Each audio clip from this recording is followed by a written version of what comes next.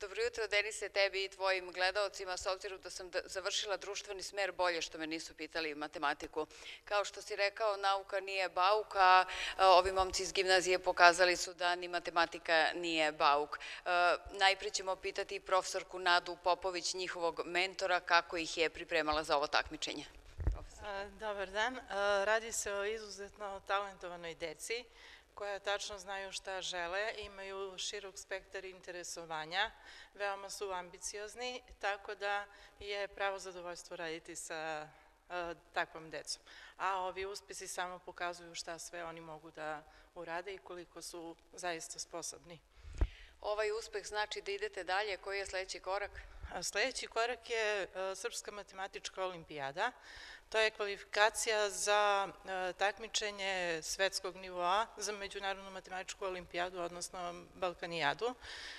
Zapravo tu se takmiče dva učenika četvrtog razreda naše kategorije i jedan učenik trećeg razreda zajedno sa učenicima specializovanih matematičkih odelenja i zapravo to je grupa najbolje plasiranih učenika sa državnog takmičenja koje je održano sada 16. marta u Novom Sadu. Mi vam želimo uspeh i u daljim pripremama. Hvala. Prvu nagradu na državnom takmičenju iz matematike osvojio je Aleksa Stojiljković. Aleksa, reci nam kako si se ti pripremao i da li je bilo teško? Pa pripreme su bile duge i intenzivne za profesorkom. Nešto kod kuće, nešto u školi, ali generalno pripremali smo se intenzivno i dalo je neke rezultate.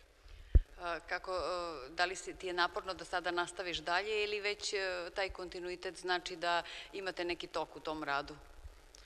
Pa, kako da vam kažem sad, kad smo prešli ovoliki put, bilo bi bez veze da odustanemo na ovom mestu, tako da ćemo da nastavimo sa pripremama, verovatno, još jače.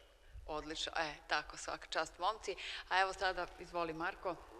Marko Stojanović, ti si osvojio drugu nagradu. Reci nam tvoja ljubav prema matematici i tvoj motiv da se takmičiš.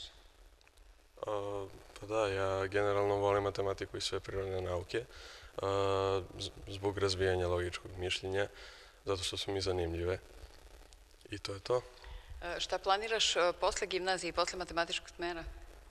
Nisam siguran, nisam nisam baš precizan u toj odluci, ali generalno to će da bude neki fakultet u oblasti prirodnih nauka.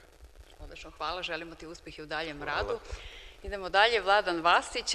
Vladane, već da kažemo poznato lice za takmičenje iz prirodnih nauka. Reci nam, ti si ovog puta osvojio treću nagradu. Koliko je tebi bilo naporno i kakvi su planovi za dalje? Pa, bilo je vrlo naporno. Tokom cijele godine smo svi pripremali i ovaj uspeh nije došao ovako samo od sebe, da kažem i uopšte na takmičenju je bilo vrlo naporno. Takmičenje traje četiri sata, a odmah posle takmičenja smo se vraćali za Pirot jer su žalbe, jer se žali elektronskim putem i ova nagrada mi veoma znači. Reci mi, tvoj plan za dalje, šta ti planiraš da upišeš? Pa ja planiram najverovatnije neki tehnički fakultet, ali još nisam siguran potpuno ako uspeh nikad neće biti na odmet. I Aleksa Stefanović. Aleksa, reci nam, prvo ćemo o takmičenju iz matematike, a posle ćemo pomenuti drugu nagradu. Što se tiče matematike, koliko je tebi bilo teško da, koliko su bile naporne pripreme i koliko je bio težak sam test na takmičenju? Pa da, pripreme u mom slučaju traje od prve godine. Ja sam se aktivno pripremao za bilo kakvo takmičenje, bilo kakav matematički izazov u životu od prve godine srednje škole, pa možda čak i ranije, ali od prve godine baš intenzivno svaki dan. Meni je ovaj uspeh fenomenalan. Popravio sam svoju poziciju na rang listi za šest mesta, tako da sam ja ponosan na sebe što sam eto, napravio još neki korak za ovih godinu dana.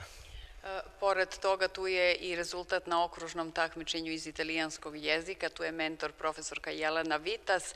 Reci nam kako je, tu su tekle pripreme s obzirom da su sad to dve različite strane, da kažemo, prirodne i društvene nauke. Pa da, ja sam od petog razreda počeo da učim italijanski, u osmom sam otišao na takmičenje, osvojio prvo mesto u Republici, pa sam rešio da ponovim taj uspeh. Nadam se da će biti uspešno i za jedno dve nedelje kada bude to republičko.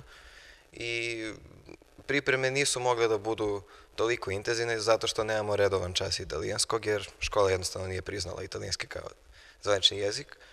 Međutim, s profesorkom smo radili individualno, polagao sam ispit umeđu vremena i tako sam se i pripremao za ovo takmičenje. Hvala, želimo i tebi uspeh u daljem radu. Hvala vam.